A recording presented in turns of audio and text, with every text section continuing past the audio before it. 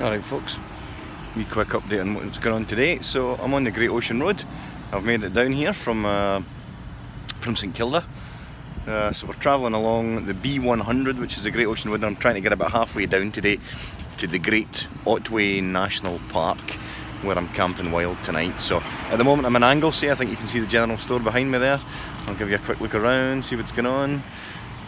Uh, so it's been a, a, pretty overcast day so far, but it's uh, it's about 10 o'clock in the morning and it's already 24 degrees. It's to hit 30 today, so it's going to be warm, but I think it's going to be stormy. There's a 30% chance of rain, so there's a good chance that we'll see a bit of, bit of bad weather, inclement weather later on. So uh, it says I should get to the campsite for about 12.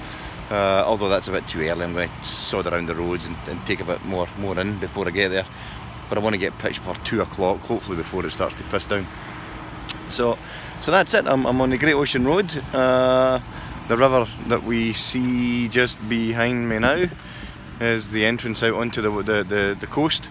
So I'm expecting to actually see the coast road anytime soon, and I'll get that on the GoPro for later. So, so next uh, next update will be from uh,